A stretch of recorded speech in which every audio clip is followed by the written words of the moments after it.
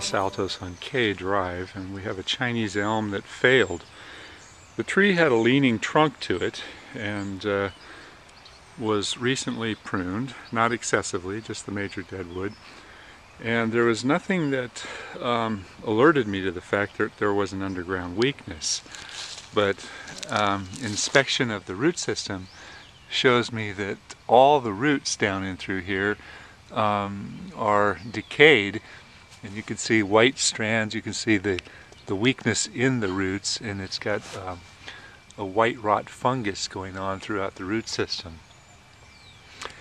These sort of underground problems are so difficult to um, identify. You know this this was all under the ground and you can see that right at the base it was uh, pretty rotted Another interesting thing to note is that elm trees, including the Chinese elm trees, uh, generally are pretty stable trees. You don't see a lot of uh, root rot like you see in this particular tree.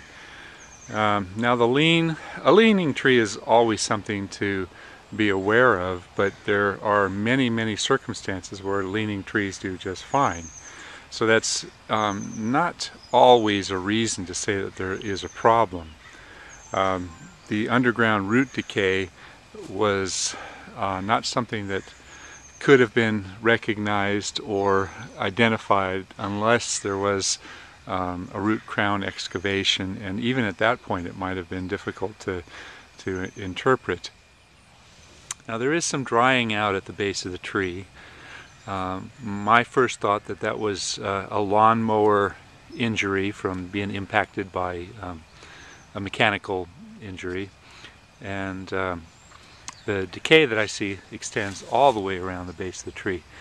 Now there's there's another possibility here that this tree um, shifted a long long time ago and rather than always having grown crooked it may have had some root cracking from a, a long time ago that uh, led to long-term decay. But when you look at the foliage, the foliage on the tree looks really, really good.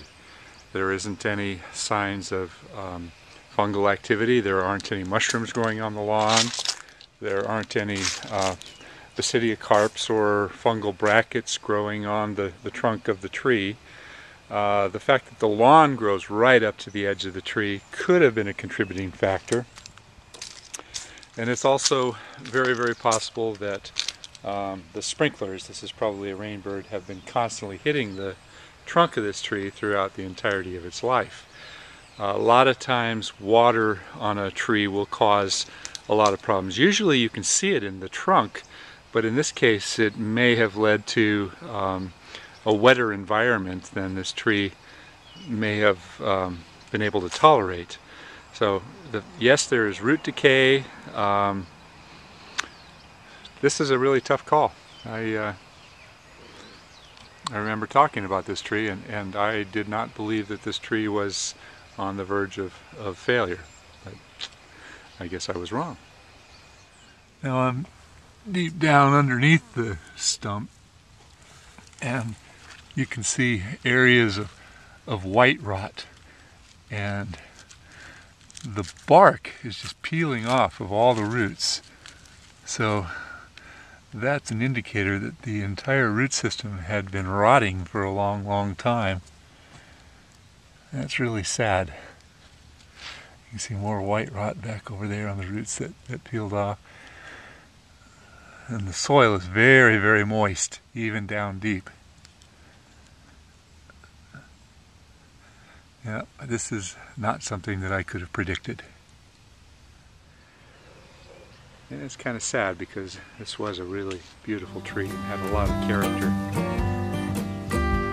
Chinese elm, Ulmus parvifolia.